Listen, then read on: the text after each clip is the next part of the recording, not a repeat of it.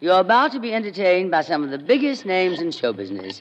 For the next hour and 30 minutes, this program will present in person such bright stars as. Bob Burns, Jimmy Durante, Billy Eckstine, Celeste Holm, Evelyn Knight, Chick Pearl, Cliff Hall, Smith Ann, Dale, Meredith Willson. And my name, darlings, is Tallulah Bankhead.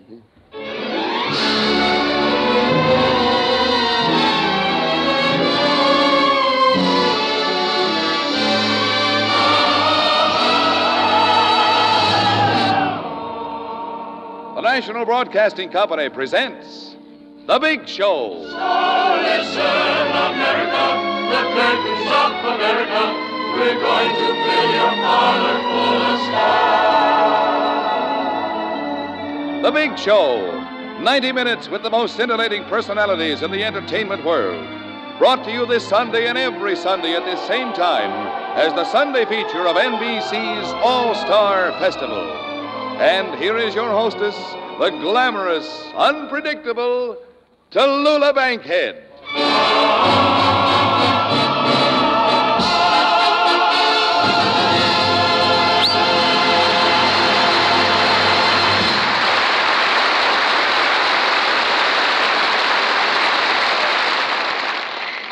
Well, darlings, putting together this week's big show has been the most ghastly experience.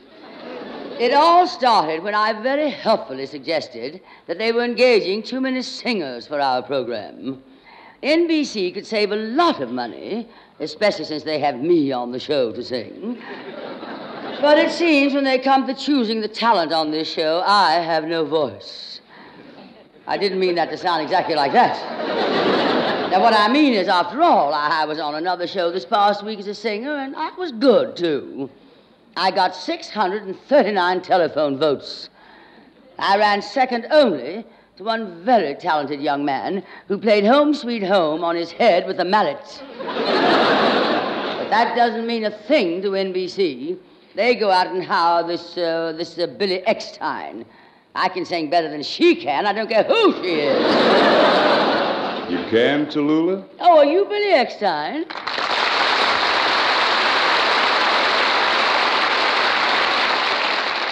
I don't know what makes you think I'm taking away your singing job. After all, I'm a baritone. The well, darling.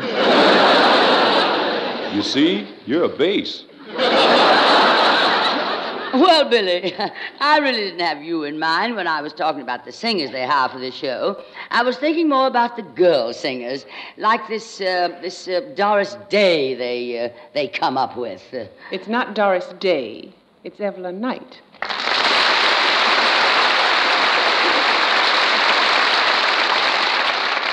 Well, day or night, you're the one, Evelyn. and not only do they hire you and Billy Eckstine, but they give me another singer, Jimmy Durante.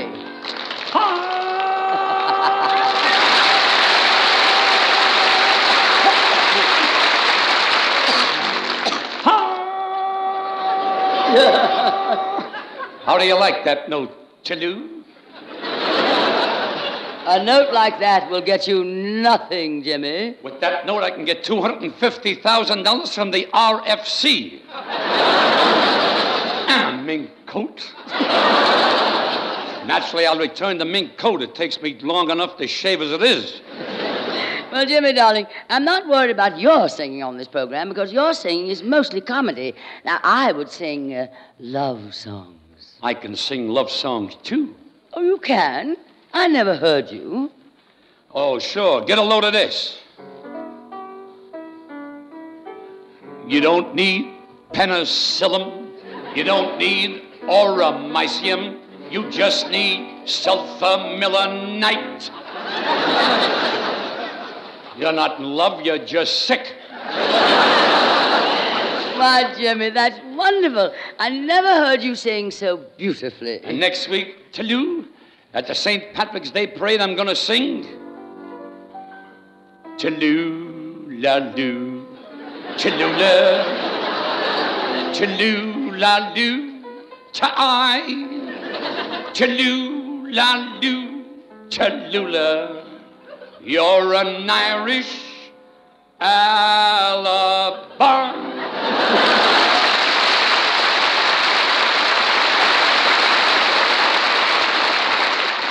You see what I mean, though, Jimmy, darling? Everybody who comes on this program is allowed to sing. But when I want to sing, you should hear the inhuman cry that goes up. Before you sing? Yes, they don't even give me a chance. Well, don't you have a sponsor on this program? Why don't you go to your sponsor and complain? Oh, we have three sponsors. We have, now let me see, we have RCA Victor. No, I don't think your singing would help their business. Well, and we have Chesterfield Cigarettes. No, your voice wouldn't help their business either. And we have Anacin Headache Tablets. That's the one to go to. Oh, Jimmy, Jimmy. I'm disappointed in you. I thought you'd help me out in this little problem I'm having here. After all, Jimmy, I don't sing as badly as all that. There are many facets to my voice. Speaking of facets, have you ever practiced singing in the bathtub? Do you? Every time I take a breath, I practice my singing.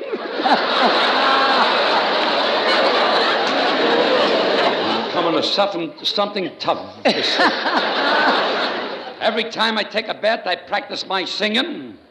Eight janks, the froom and cleanser. I told you you should have played it, Meredith. There, I got over it. that takes, Jimmy. That takes the ring out of the bathtub and puts it in my voice. Now, Jimmy, no plugs. How can I take a bath without a plug? Well, I have a confession to make, Jimmy. I always practice singing when I'm in the tub. But only this afternoon, while I was taking a bath, I was singing, I'll be singing. In the bathtub? Please. Now I know what's wrong with your voice. You should spray it with Rinso. You've got a dishpan throat. Well, it looks like everybody's at my throat. I know there can't be that much difference between my singing and everybody else's. Oh, Jimmy, I'm going to let one of our guests sing now. She's one of our very best singers. I want you to listen to her and see if you can tell why everybody would rather hear her than me. It's Evelyn Knight singing her great recording, I Remember the Cornfields.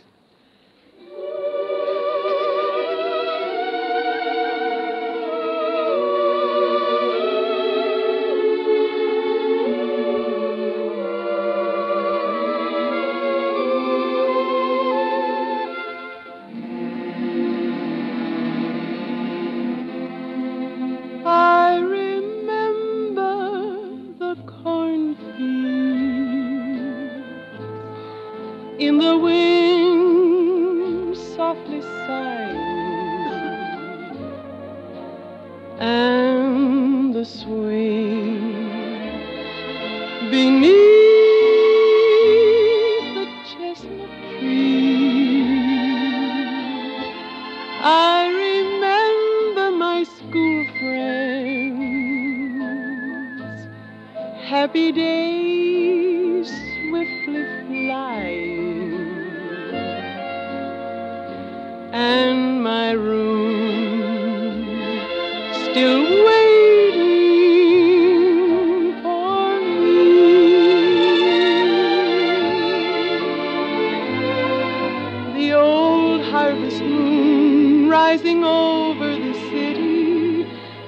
discovers me there and regards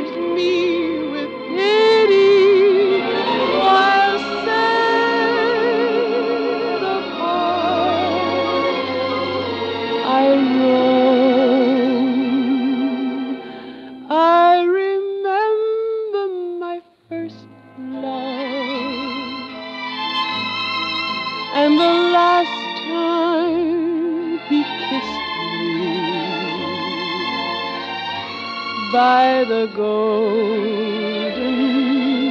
cornfields of home. The old harvest moon rising over the city discovers and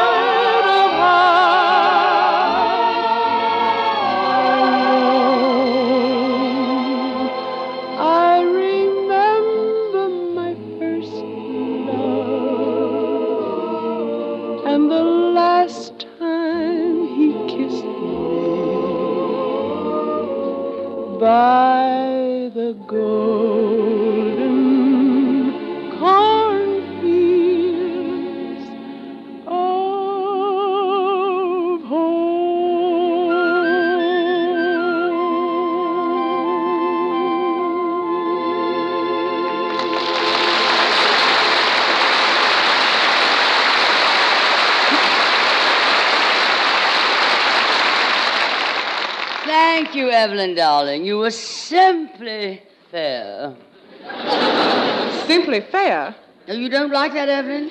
Well, would you prefer me to say you were uh, fairly simple? I know what's bothering you, Tallulah.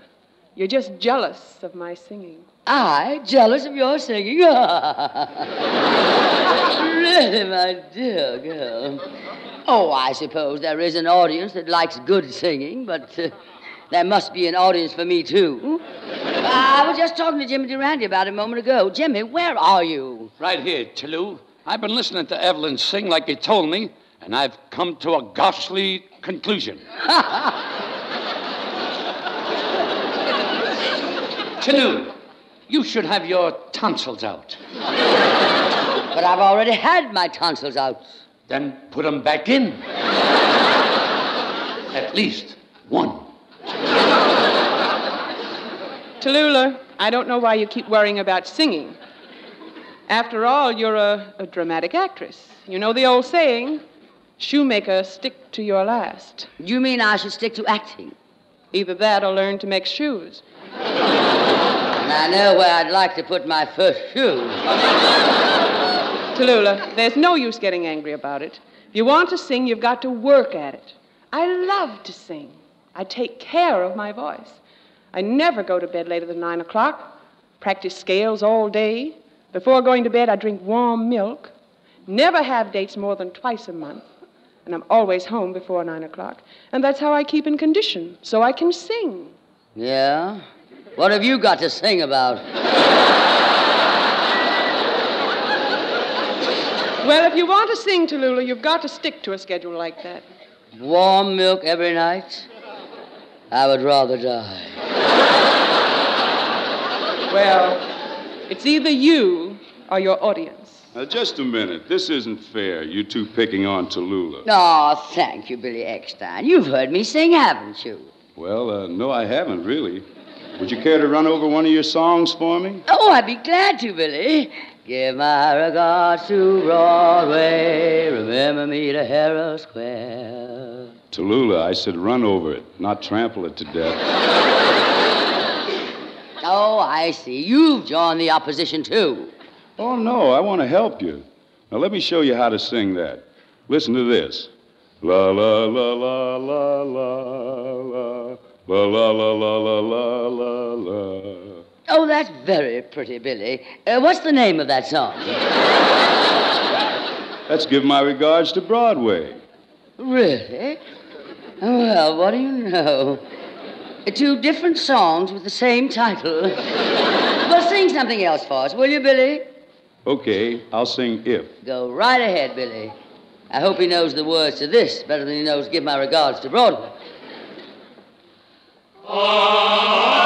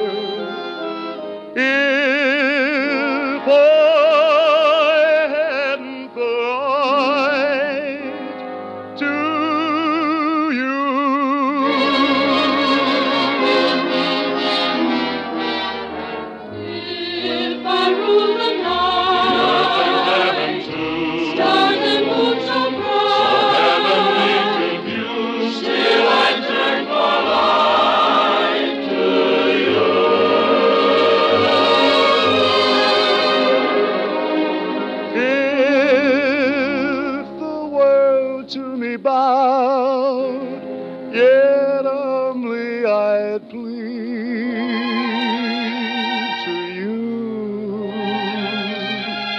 If my friends were a crowd, I'd turn in my knees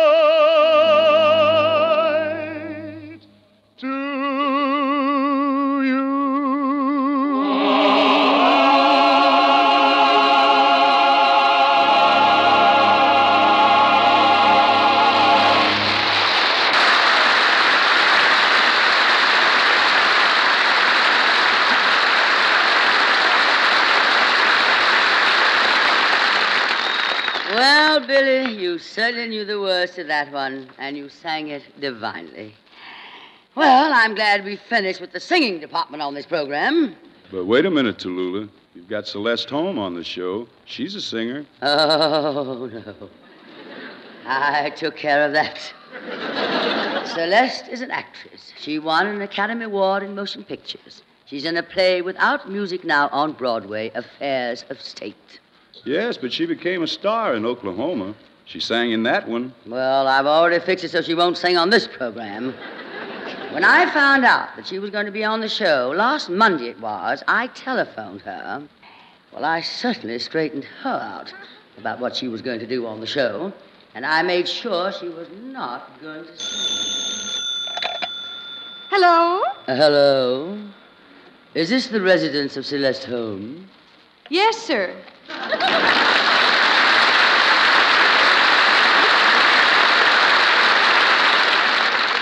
Oh, is that you, Celeste? Um, who is this? Oh, this is Tallulah. Oh, uh, uh, one moment, uh, s'il vous plaît. I, I will see if Madame is here. Thank you, Rochester. Oh, good heavens, what is she calling me about now? She's already called me about what to wear on the show, and I promised I'd try not to look young. What can she want now?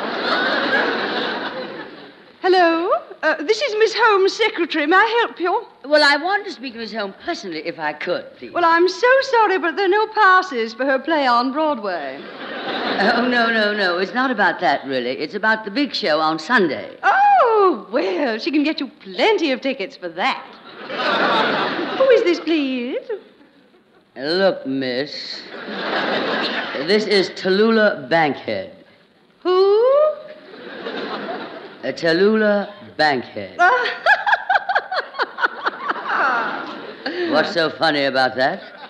Nothing. It sounds as if you're saying Tallulah Bankhead. I am saying Tallulah Bankhead. Oh, I beg your pardon. How do you spell that? Well, I'm not very good at spelling, but let me see now. Try. Well, now we see. Let's see. Uh, T A L. What's that first letter? A T. T as in taboo. As in what? Taboo. Lunkhead. Oh, Tabula Lunkhead.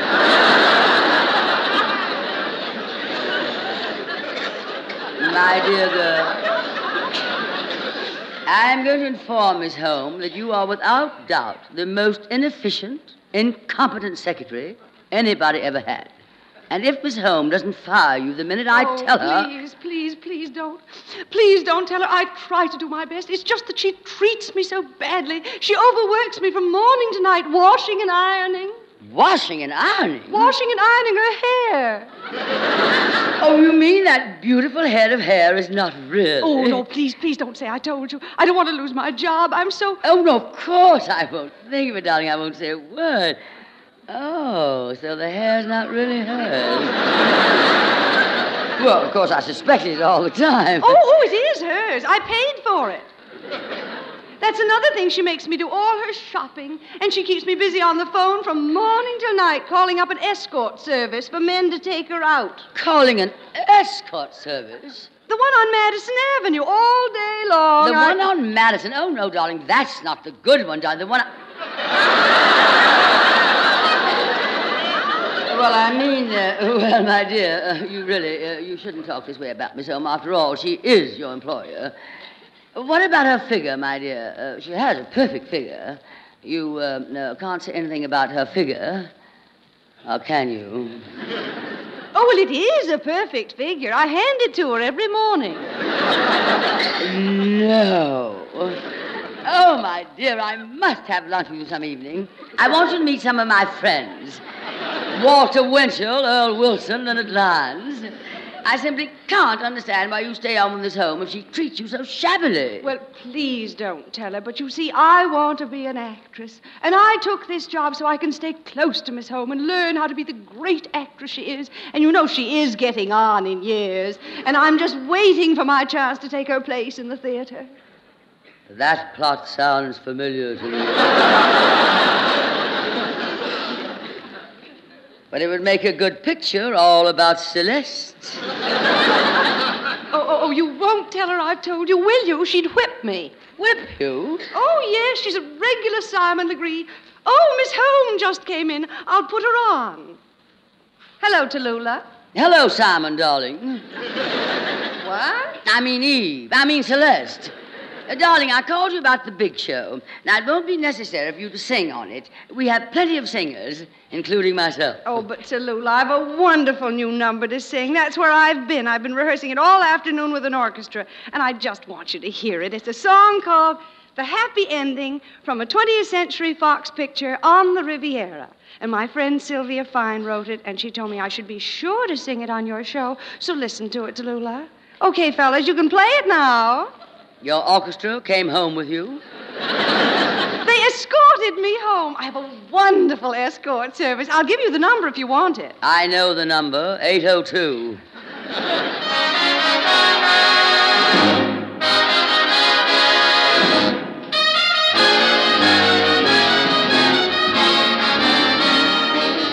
Stay where you are. Listen to me before you make it used to be chic for the end to be bleak, the fad to be sad has been had. Or do you like your drama? Oh, so stark that when the lights go on, where are you? Still in the dark, misery may be some people's cup of tea. But, brother, not me. It makes me feel so good when I see a happy ending. Give me a happy ending every time. It makes me feel so bad when the curtain is descending and lovers aren't blending. That's a crime. Don't want the hero to be the one who done it. Don't want my heroine left all alone to gun it. If that is corny, don't ever let 'em stop corn. I want to relax and eat my popcorn. So make me feel real good when I see that final fade out. I want that mortgage paid out every dime. Wanna yip it, wanna yak it, leave my hanky in my pocket, and see a happy ending every time. Western, the time I really love it is when the doctor yells hot water and plenty of it. When the villain's bullet rips the hero's hat away. Look out! They went that way. So bring the girls on stage, let 'em take that final entrance and make that final entrance look sublime. Let 'em smile or sing a ditty or just stand there and look pretty. Let 'em really reek with glamour as we wind up this here drama. While we dance it, while we shout it, while we leave no doubt about it, we like a happy ending every time.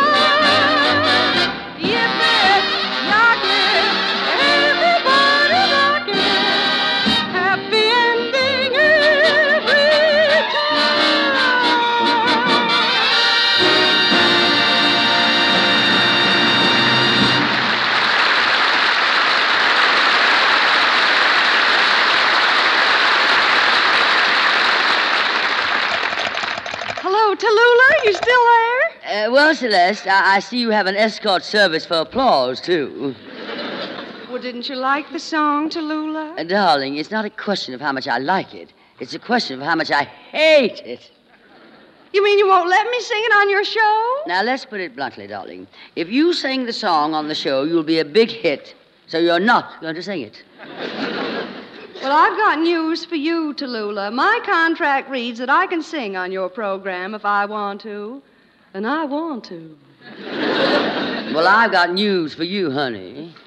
I just had a most informative chat with your combination secretary, maid, and figure hander. Tallulah, are you threatening me? If the figure fits, darling, wear it. Tallulah. Yes? I telephoned you last Sunday evening about six o'clock, and you weren't home. Well, of course not, darling. I'm on this show at six o'clock. Yes, I know. I had an hour and a half chat with your combination maid, masseuse, and girdle stretcher. Oh, Celeste, darling, uh, why don't you sing your first song in the first half hour? and then, of course, if you want to sing several other songs, you can sing whenever you feel like it. I, well, I wouldn't do more for Katharine Hepburn. Oh, and speaking of Katharine Hepburn, I was talking to her maid the other day. Yes, and what did she say? Well, darling, you wouldn't believe it, but she told me.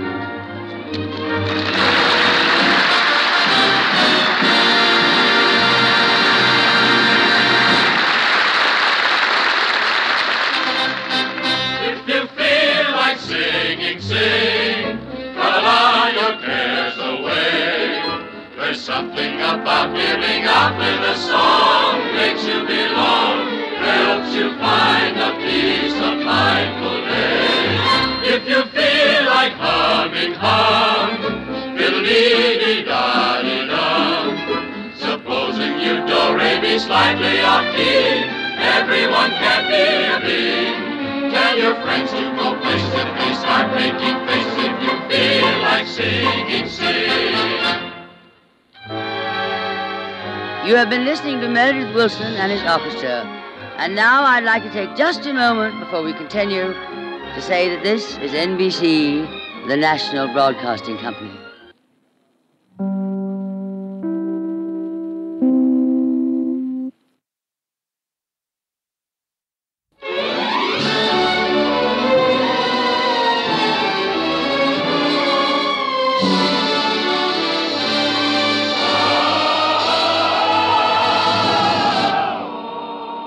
Show.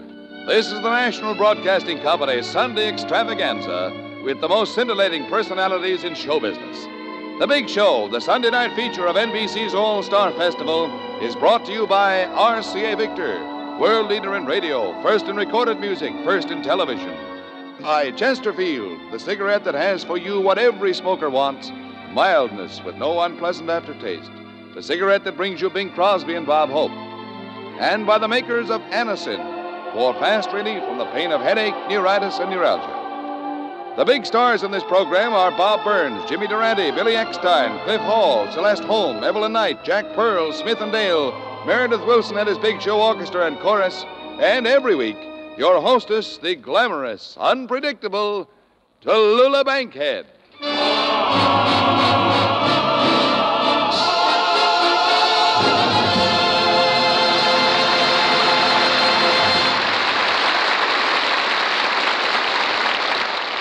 Well, darlings, we think we have a treat for you on the big show this week. In the world of entertainment, there are certain classics which are ageless. Now, stop snickering. I'm not talking about myself. we have collected this week several classic comedy performers who have contributed priceless gems of entertainment which will long be remembered in our business. Those of you who have heard these artists will laugh again. But it will be a new and refreshing experience to the younger generation, of which I happen to be a member. Hello, little girl. Well, the first of these is the Arkansas traveler himself, Bob Burns.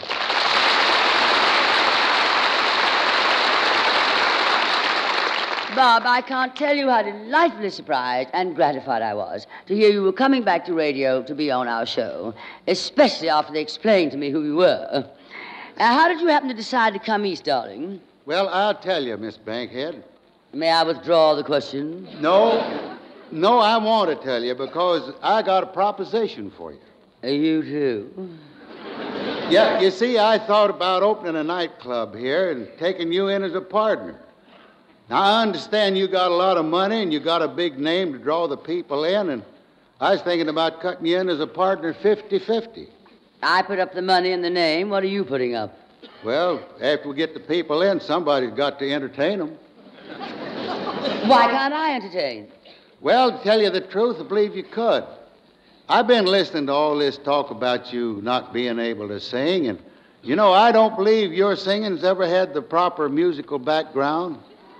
You know, I believe my bazooka is the only instrument in the world that will blend with your voice.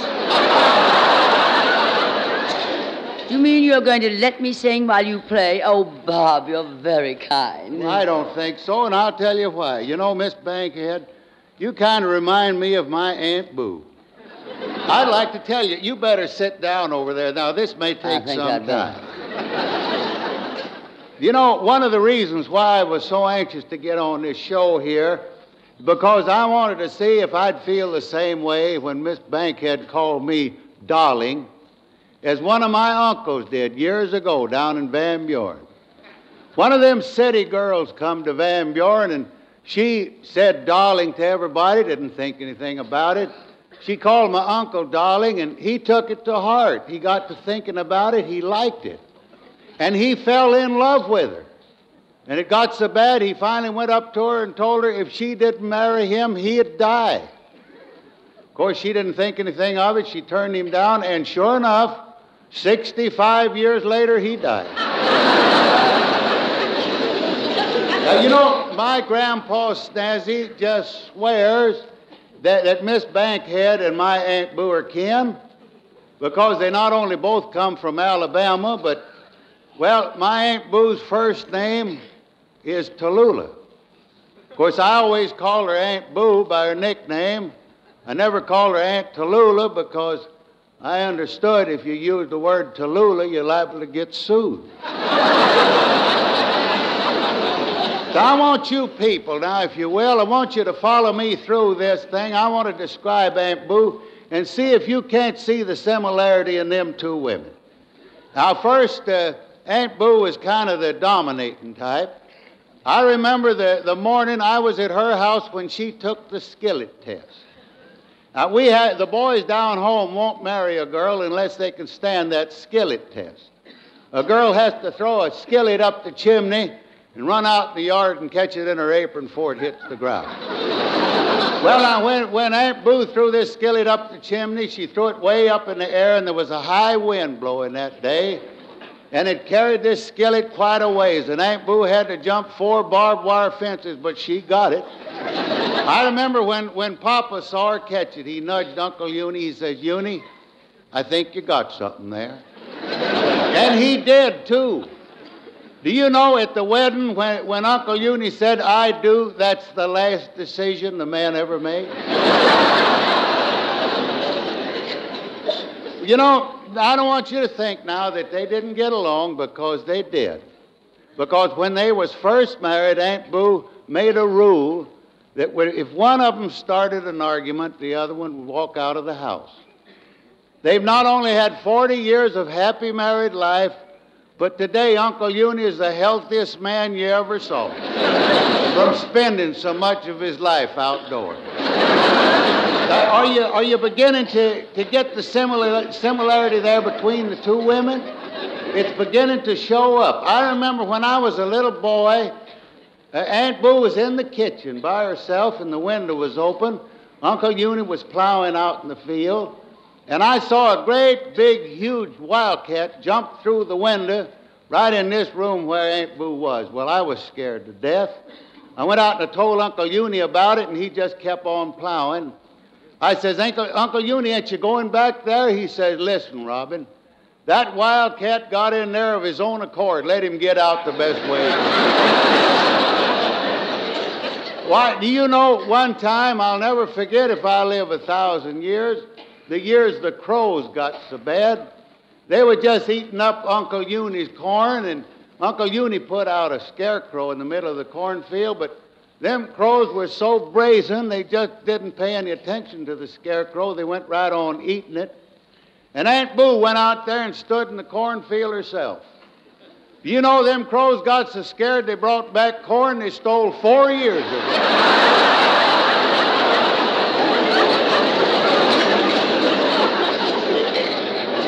There's another similarity there between the two women.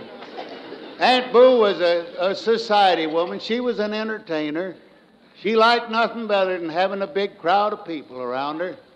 Uh, but if there's anything in the world mortified her, it was to have something go wrong at the table where she was serving. I'll never forget this day we had the family reunion, and oh, we were all there, and and uh, Aunt Boo, of course, she didn't sit down. She stood up so that she anything go wrong. And we were halfway through the meal when she suddenly remembered she forgot to put on the buttermilk. Well, she went down to the spring house where she keeps the buttermilk in a big jar, and she's got a, a cloth over the top. Happened to be a little hole in the cloth that day, and a little green frog fell in the buttermilk. Aunt Boo didn't see it, and she rushed up to the house, and in such a hurry, she poured the buttermilk out, and, and Grandpa Snazzy got the glass of buttermilk with a little frog in it. Well, uh, Aunt Boo was watching them, and everybody else had drank their buttermilk but Grandpa Snazzy.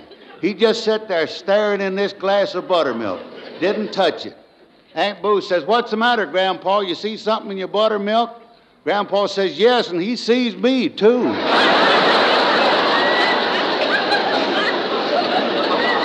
Now, now, Miss Bankhead, long about here is where I plan for you to sing with me, if you're ready. Oh, thank you, Bob, darling. That's very sweet of you.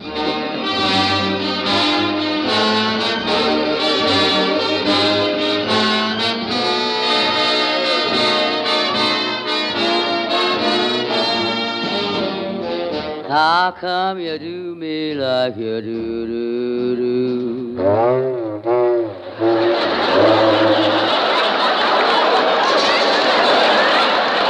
Well, you'll never top that.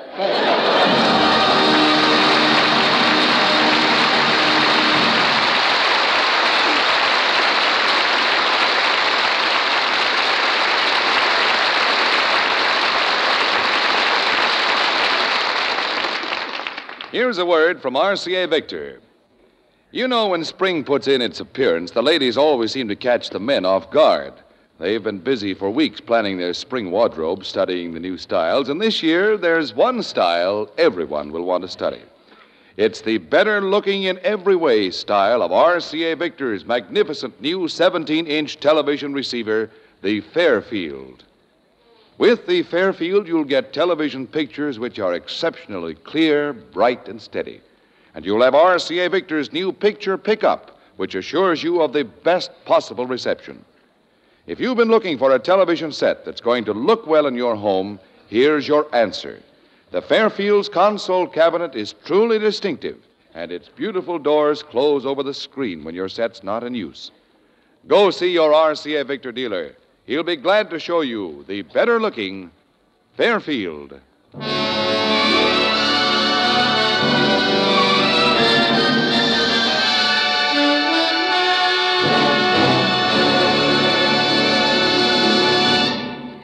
Well, darlings, I don't know what all of you were doing back in the year 1910.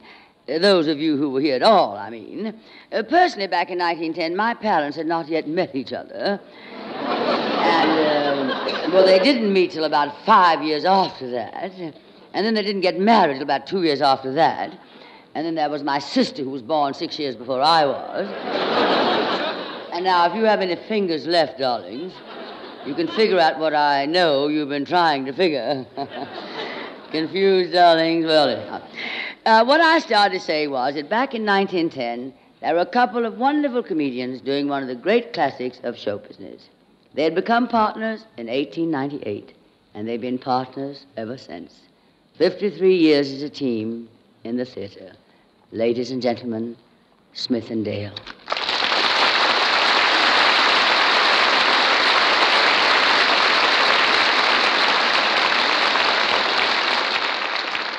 We hear the never to be forgotten Dr. Kronkhite sketch. The scene, a doctor's office. The patient, Joe Smith, has just entered the office of Dr. Kronkhite, Charlie Dale. Mr. Smith is greeted by the nurse, Miss Jean Courtney. How do you do, sir? Is this the office of Dr. Kronkhite? Yes, I'm his nurse. Is nice? Mm-hmm. Is the doctor sick too? No, no, I'm a trained nurse. Oh, you do tricks. What's the doctor's office hours? His hours are from 12 to 3, 3 to 6, 6 to 9, 9 to 12, and 12 to 3. Well, he gives good odds. He must be a horse doctor. No, those are his hours. Is that AM or FM? That's TV. TV. Oh, Tuesday or Wednesday. Is the doctor in now? Yes, but he's very busy. All right, I'll wait. Will you have a chair? Thank you. I'll take it on my way out. How much does the doctor charge for a visit? Oh, he charges $5 for the first visit, Yeah. $3 for the second, and 1 for the third. One dollar for the third visit. Yes. Thank you. Oh, here comes the doctor now. This must be Hobby Lobby. well, doctor, here I am again. Yeah, what? I never saw you before. in my I'm here for the fifth time. If I come here once more, you'll owe me eight cents. Yeah, just- So you're a doctor. I'm a doctor. I'm dubious. I'm pleased to meet you, Mr. Dubious. I'm awful glad to know you. I'm still dubious. Are you married, Mr. Dubious? Yes or no? What do you mean, yes or no? I am, but I wish I wasn't. You, Oh, oh you got any children? I got three, a boy and a girl. Three, a boy and a girl. What's the other one? So young, who can tell? Oh, Do you carry any insurance? I ain't got one nickel insurance, Doc. Oh, if you should die, what would your wife bury you with? With pleasure. Yeah, uh-huh. well, what seems to be your complaint? I don't know. Before I saw you, I saw another doctor. Uh-huh. He said I had snoo in my blood. What did I tell you? He told me I had snoo in my blood. Snoo? What's snoo? Nothing. What's snoo with you? Yeah. What's the trouble here? What's I don't know. I'm as sick as a dog. Don't worry, you came to the right place. I'm also a veterinarian. You know what you, what's the I matter? don't know. Every time I eat a heavy meal, I don't feel so hungry after. That's my problem, oh, Doc. Oh, well, maybe, maybe you don't eat the right kind of dishes. The vitamins, you don't eat that right. What kind of dishes do you eat? I should eat dishes. What kind of dishes? What am I, a crocodile? Yeah, what kind What is your favorite dish? Aluminum. Yeah, no, no. I like aluminum with simis No, in it. no, no. You don't seem to grasp me when I speak with you. I don't grab you. Yeah? If I don't grab you, don't grab No, me. no, you don't understand. Besides, you've been eating radishes. Yeah, radishes? What's the matter?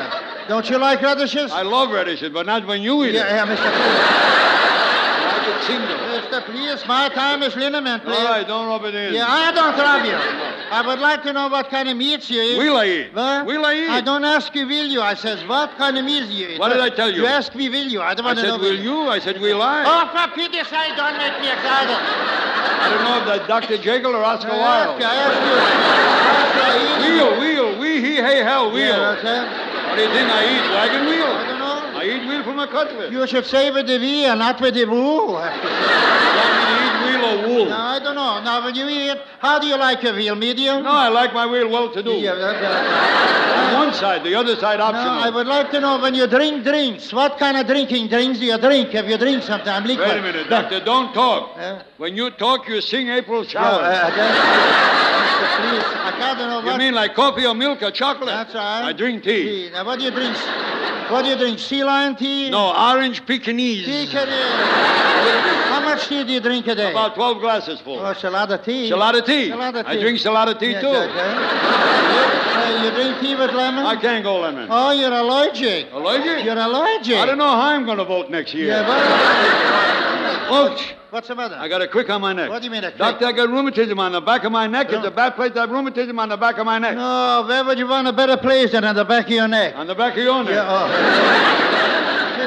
Go to Mount Clemens for your rheumatism. Is Mount Clemens a good place for rheumatism? Certainly, that's where I got mine. That's all. or you could go to Switzerland. Now, what could I do in Switzerland? Just sit there and switch. It'll give you the Doctor, my chest hurts me. I got right. bursitis, everything. Right, I don't know what's the matter. Don't worry, I will examination you with the stethoscope. Don't Thank worry you. about that. Uh, take off the coat.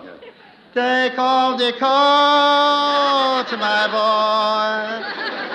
Take off the coat, my boy. Take off, take off the coat. The coat is on.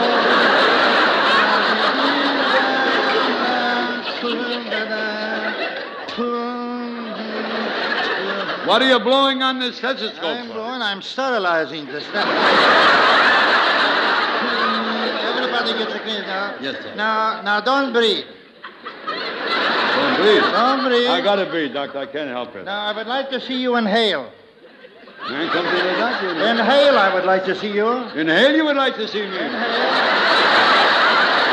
Inhale, I would like to see you. Now, keep your mouth wide open and say fish.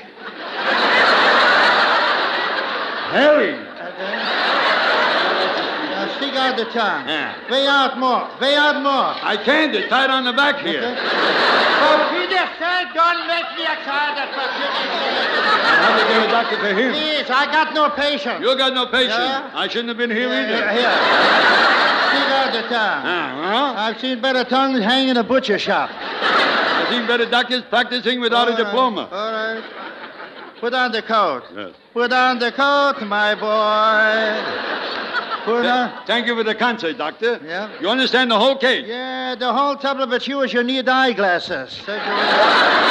I suppose if I had a headache, I would need an umbrella. No, no, you're right. Now, now you now. Well, what do I owe you? Ah, you owe me ten dollars For what? That's for my fee. Ten dollars for your fee. Ten dollars for my advice. Your advice. That's right. Well, doctor, here is two dollars. Take it. That's my advice. Why, you chisel, you cheapskate, you come in here, you cockamini, and waste me a half an hour of my time. One more word from you, you'll only get a dollar. Why? That's the word. Here's a dollar. Uh-huh.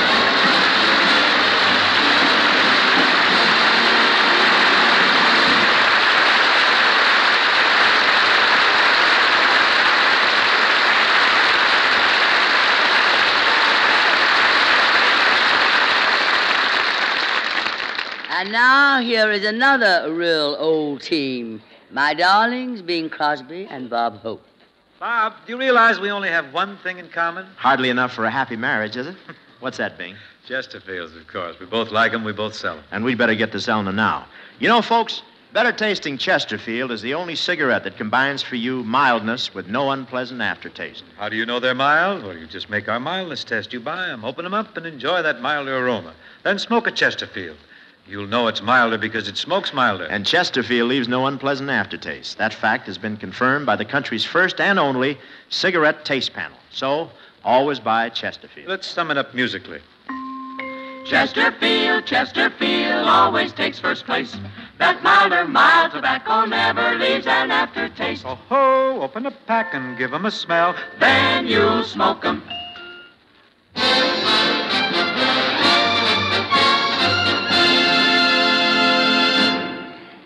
Well, I'm having a wonderful time listening to these great acts of an earlier day in show business. Pardon me, Chalou? yes, Jimmy, darling. Aren't you getting a kick out of these show business classics? I'm pretty classic myself. Of course, you may think I'm too young compared to these old timers, but I remember there used to be an act around Broadway called Clayton Jackson and some other fella. Durante.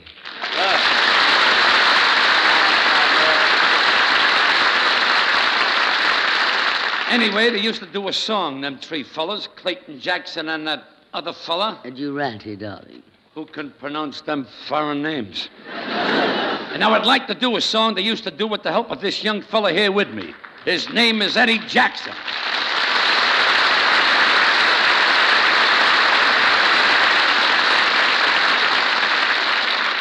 How do you do, Mr. Jackson? Howdy. Always glad to give a young team a helping hand. Mr. Durante and Mr. Jackson, the stage is yours.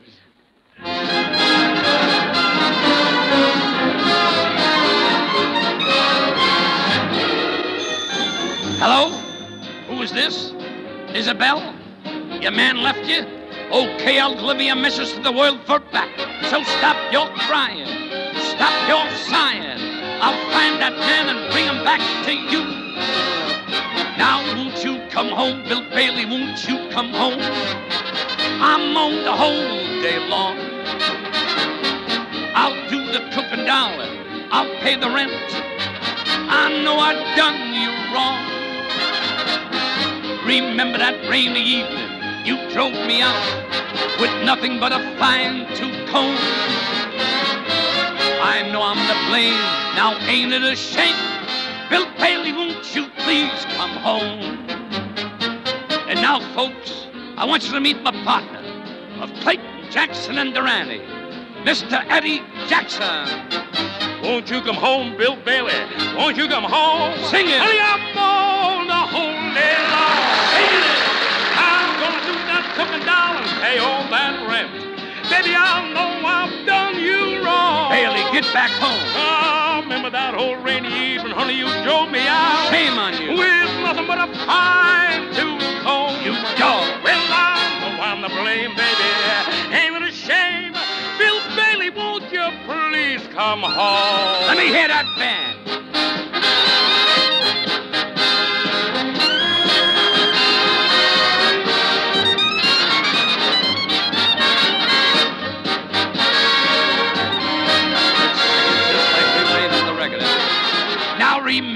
Rainy evening. You drove me out with nothing but a fine tooth comb. Yeah, baby, I know I'm to blame. Honey, ain't it a shame? Bill Bailey, won't you please come home?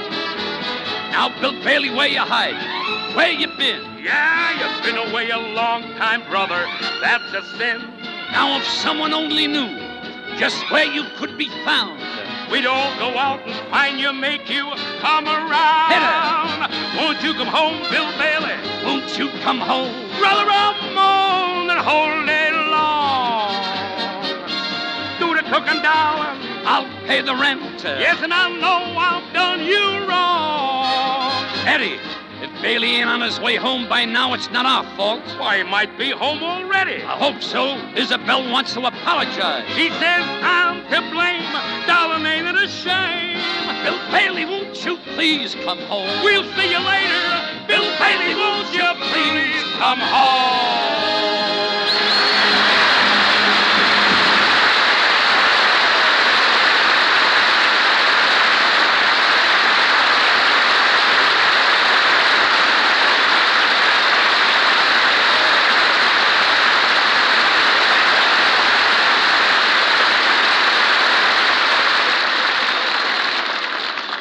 The next time you suffer from pains of headache, neuritis, or neuralgia, take Anacin. You'll bless the day you heard of this incredibly fast way to relieve these pains. Now, the reason Anacin is so wonderfully fast acting and effective is this Anacin is like a doctor's prescription. That is, Anacin contains not just one, but a combination of medically proven active ingredients in easy to take tablet form. Thousands of people have received envelopes containing Anacin tablets from their own dentist or physician, and in this way discovered the incredibly fast relief Anacin brings from pains of headache, neuritis, or neuralgia. So the next time a headache strikes, take Anacin for this wonderfully fast relief. Anacin, A N A C I N. Anacin comes in handy boxes of 12 and 30, economical family size bottles of 50 and 100. Get Anacin at any drug counter.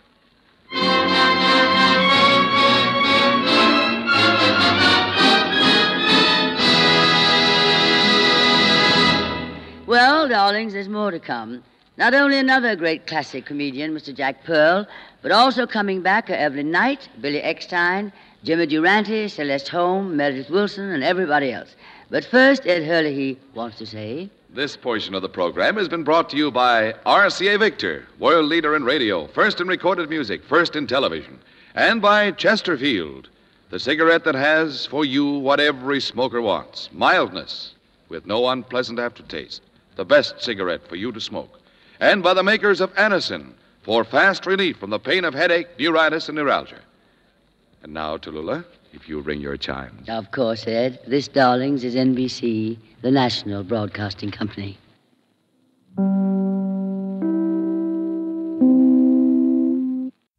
This is The Big Show. And Tallulah is about to introduce another great classic act of the theater. Some years ago, everybody walked around saying, Was you there, Charlie? A catchphrase made famous by the great Baron Munchausen. In other words, Jack Pearl. Mr. Pearl with his famous sidekick, Charlie, Mr. Cliff Hall.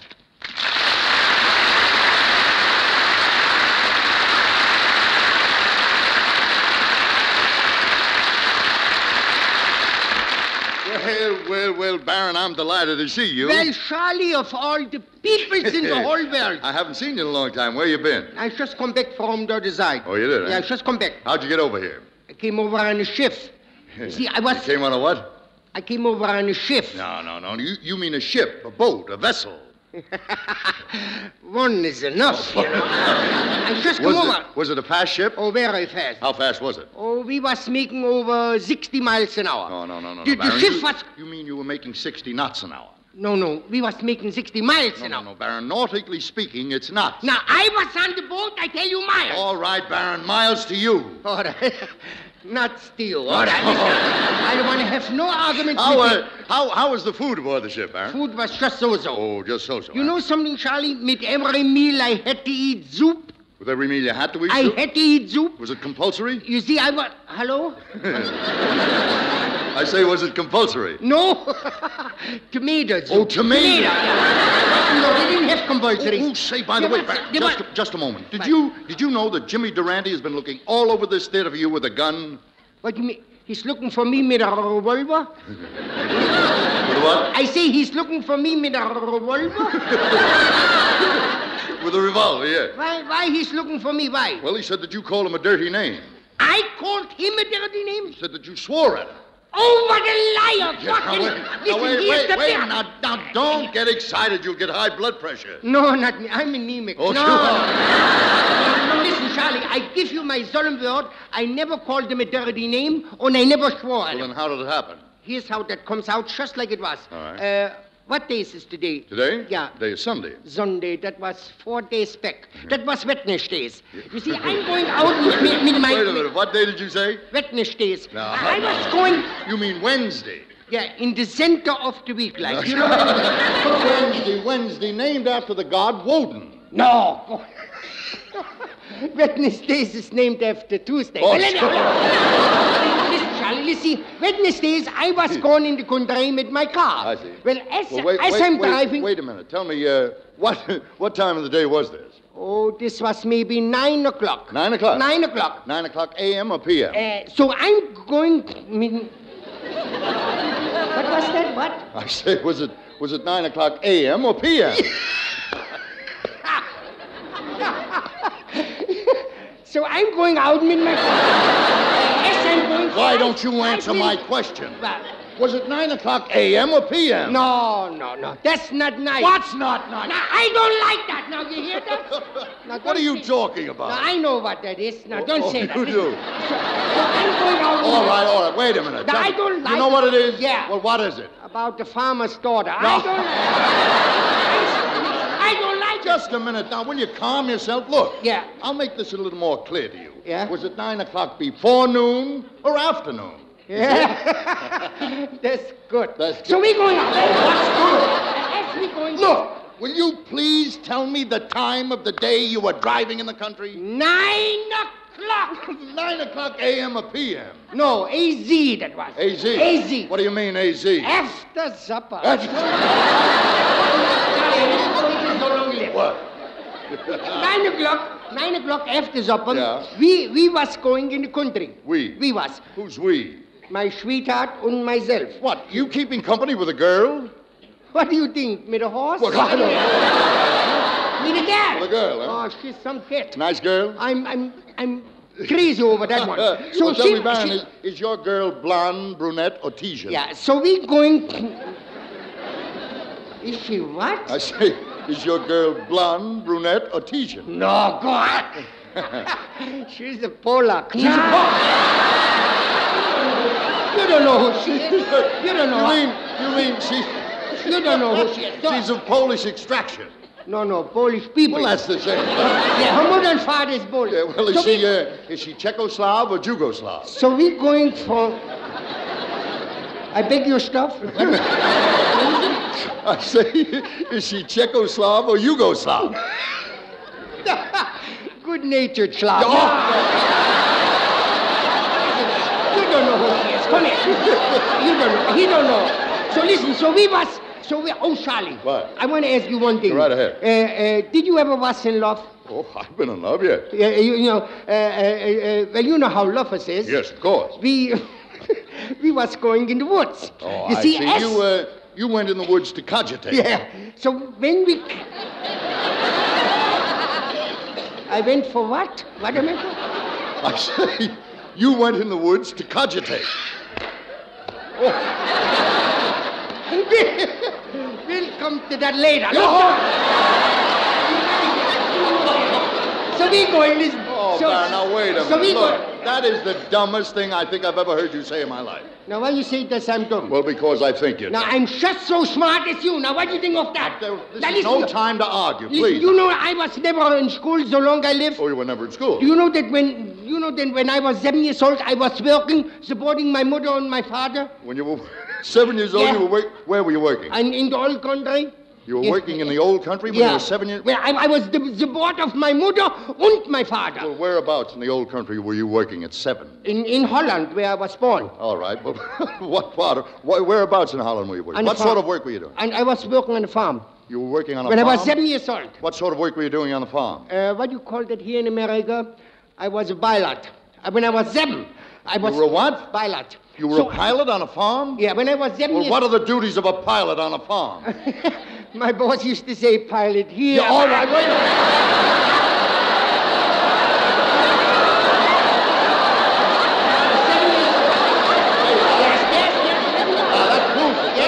You know something? What? I tell you what I do, me do. What? I bet you five dollars. Oh, you- you... see, so smart you are, so dumb I am. I could answer my question where you could not answer yours. Now, wait a minute. Let me understand you. You want to bet me $5 you can answer your question where I can't answer yeah, mine? I bet you five dollars. All right, the bet is on. All right. Have you got five dollars with you? Yes, I think so. if you win, you trust me, Yeah, huh? sure. Now, Let me see. Did you uh, did you ever was in the woods? Did I what? I say, did you ever was in the woods? Did I ever was in the woods? Yeah. Your grammar is bad. Yeah, she's an old lady Yes, now. Listen here. Did you ever was in the woods? Yes. I've been in the woods. When you was in the woods, did you ever see holes? Did I ever see what? I slap No, you no, in no, the no, no, Did you ever see holes? What are you talking? Holes. Oh, hole. How you see it? Hole. Holes. Oh. Did you ever see holes? Well, what kind of hole? Rabbit. What kind? Rabbit, rabbit holes. Rabbit hole? Yeah. Yes, I've seen rabbit holes. Also wait, do you know, understand this, do you know how the rabbit makes that hole without leaving any dirt around it? Do I know how the rabbit makes the hole without leaving any dirt around? Yeah, do you know that? Well, now that's a very difficult question, and I must admit I can't answer it. Can you? Could I? Yeah. That is my question and I must answer. That's right. They start from the bottom and they dig up. And I never was in school. so- Oh, wait a minute. I have you now. How does the rabbit get to the bottom in order to dig to the top? That's your question. You answer it.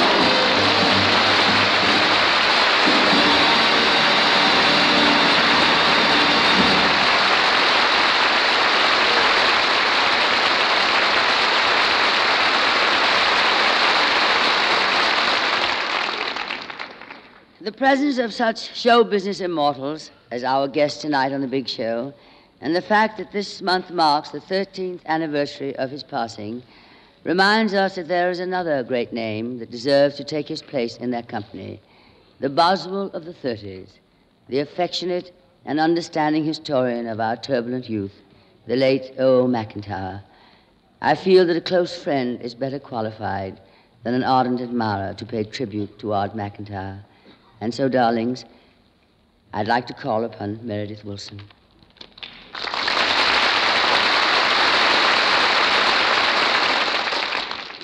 Yes, Tallulah, I was a friend of Odd's and an admirer of his, too. But people like me can be counted in the millions across this country because every reader of McIntyre's was both a friend and an admirer. And I'll bet if we listen real close, we can hear the rustle of those aging clippings, still kept on a shelf, still read of an evening at home. Yes, Meredith. Ours was the quiet, small voice of the hometown boy lost in the wonders of the big city. And our best tribute to Odd McIntyre would be to let that voice speak again in words and music. The music is from Meredith Willson's symphonic composition, the O.O. McIntyre Suite, written before Odd's death. Meredith and his orchestra will play the movement called Thoughts While Strolling, and I will read the words from one of Odd's most famous columns, still read and cherished over all America. First the music, Thoughts While Strolling.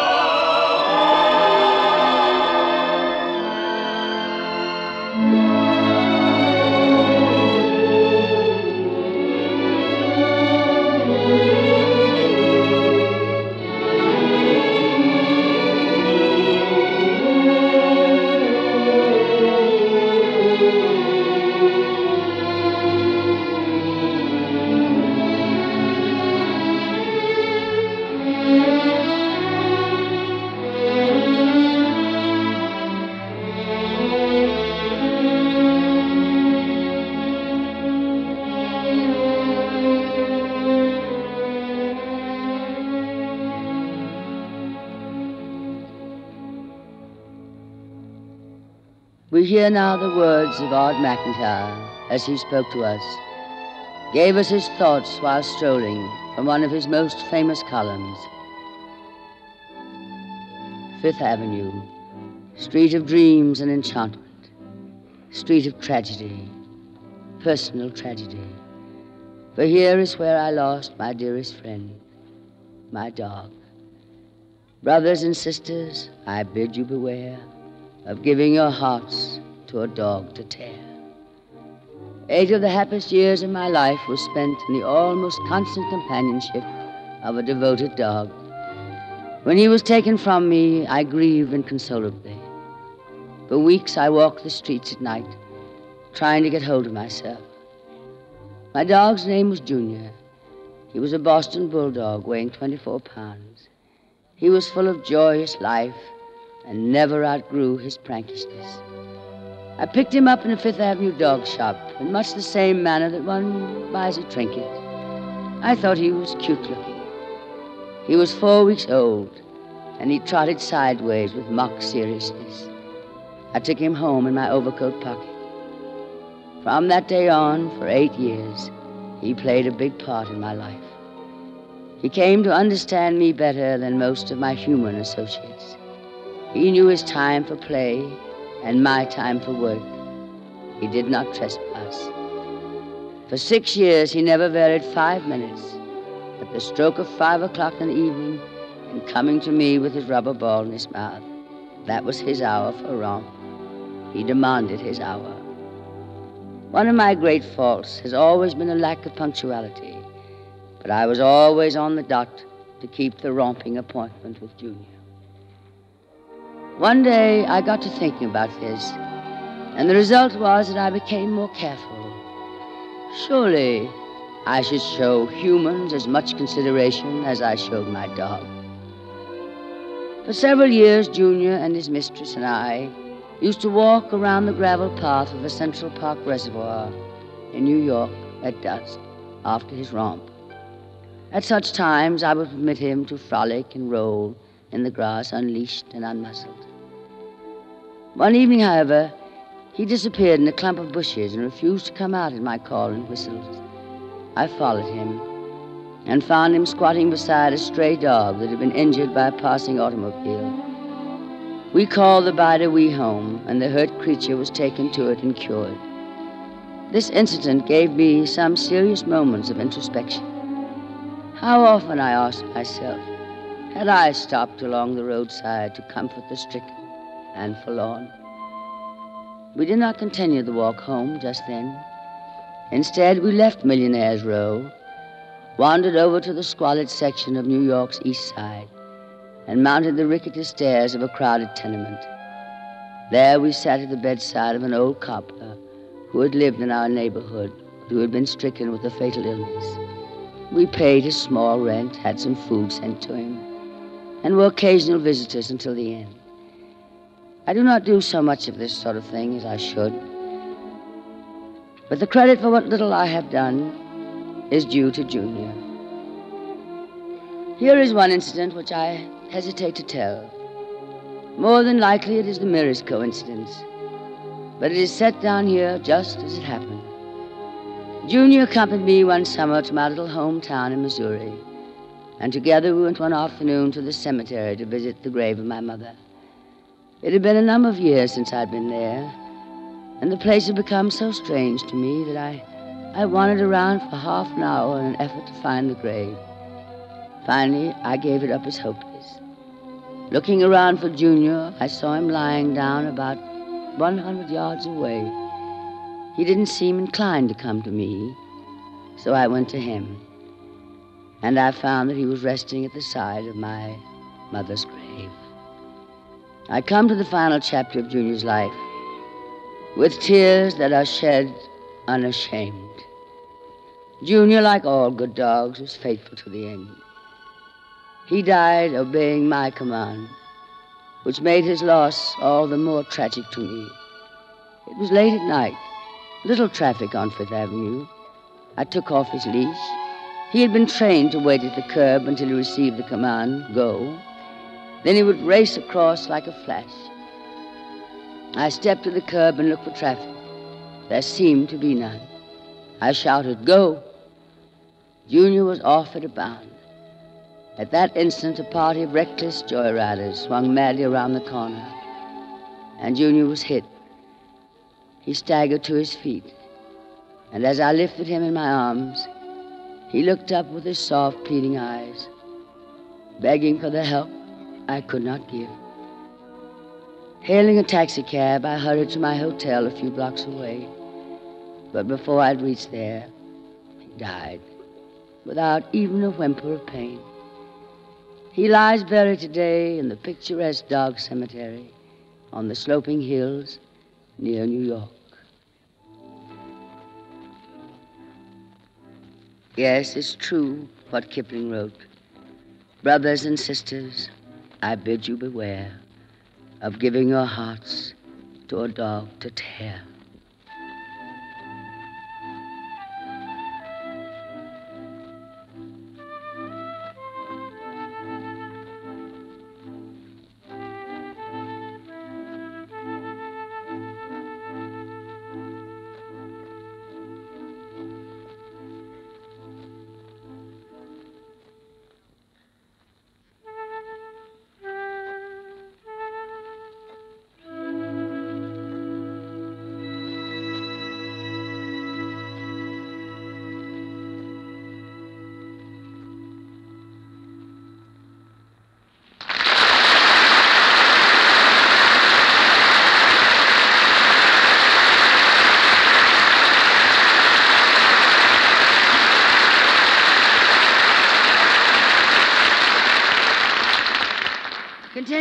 Great classics of show business, popular music too has survived the march of years. We have picked a medley of songs which were great in their time and which today are enjoying huge success as revivals. Meredith Willson, his Big Show Orchestra and Chorus, assisted by Evelyn Knight, Billy Eckstine, and Celeste Holm, will present that medley. Meredith, darling, if you please.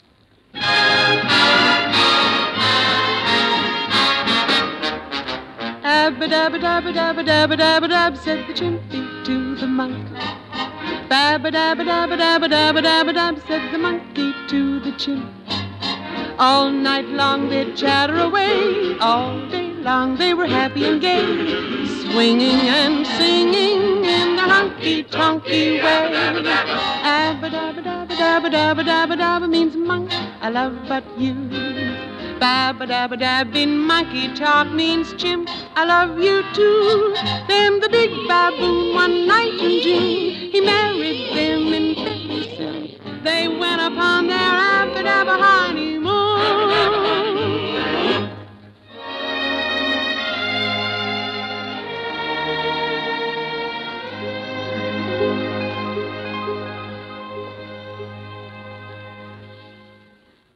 I told a lie, if I made you cry, when I said goodbye, I'm sorry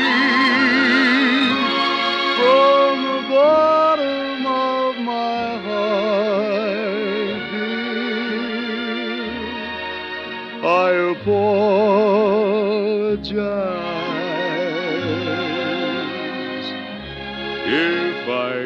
you pain. I know I'm to blame. Must have been insane.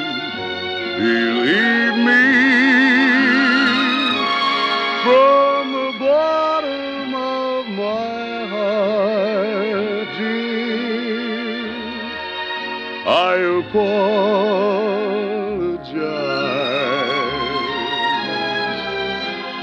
I realize I've been unfair to you.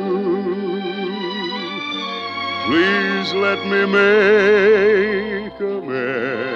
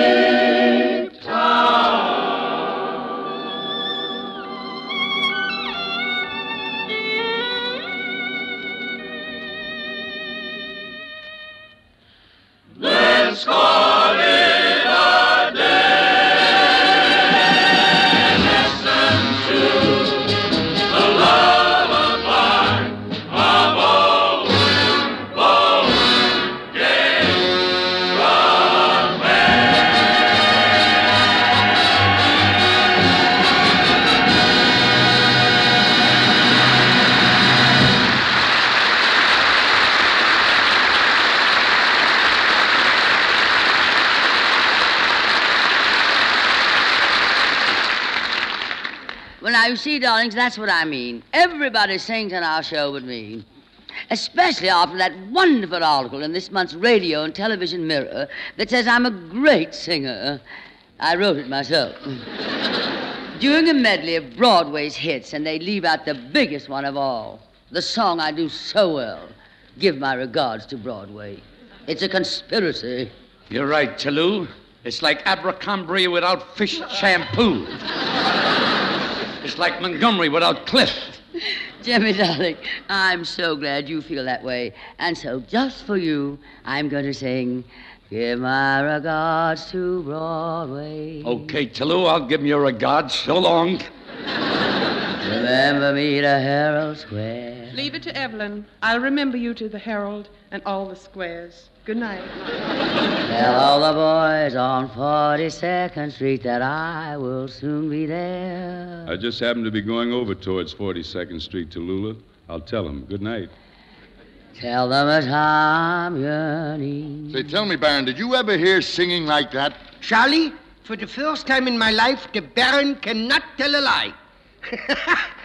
I never heard anything like it. Good night. Mingle with the old time throng. Well, I guess I better be going, Miss Bankhead. That sounds like hog feeding time to me.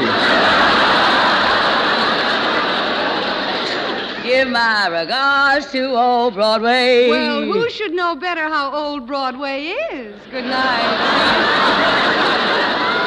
And say that I'll be there ere long. Put on the coat, my boy. And le- let's go. Come on. Our coats are on.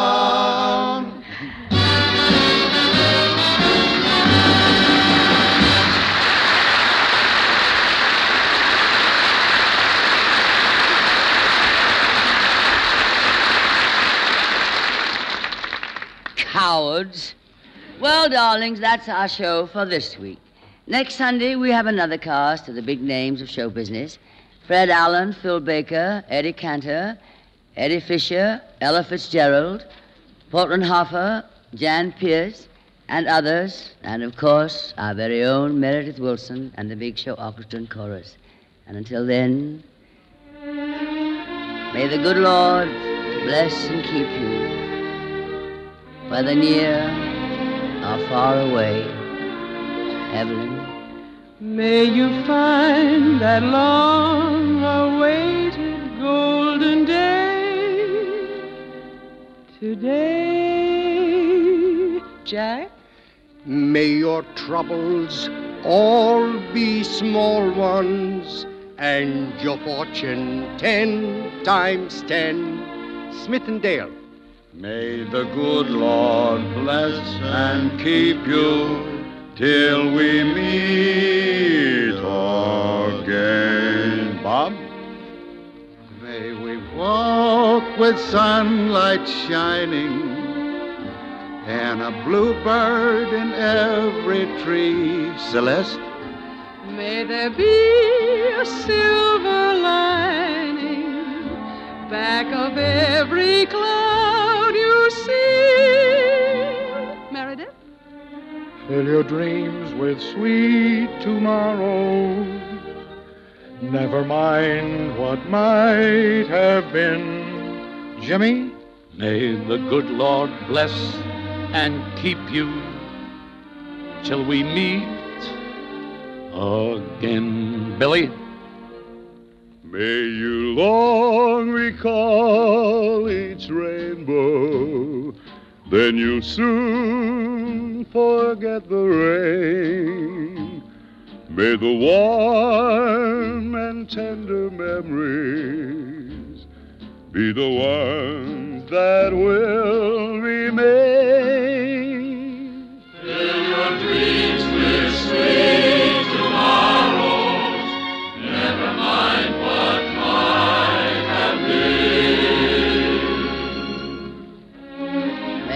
Lord bless and keep you until we meet again.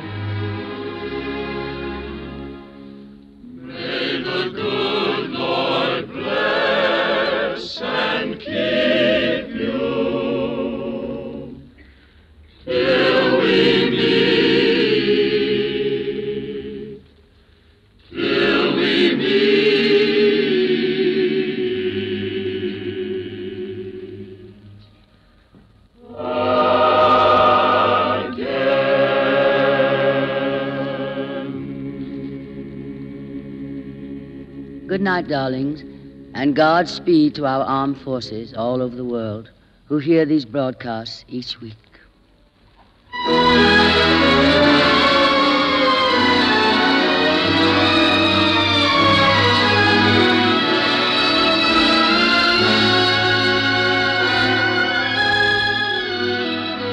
The Big Show is produced and directed by Dee Engelbach and written by Goodman Ace, Selma Diamond, George Foster, Mort Green, and Frank Wilson.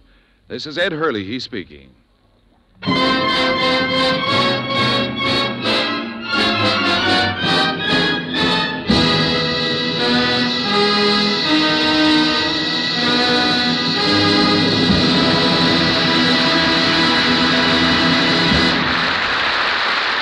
With Phil Harris and Alice Faye. And remember the Hasty Heart on Theater Guild on NBC.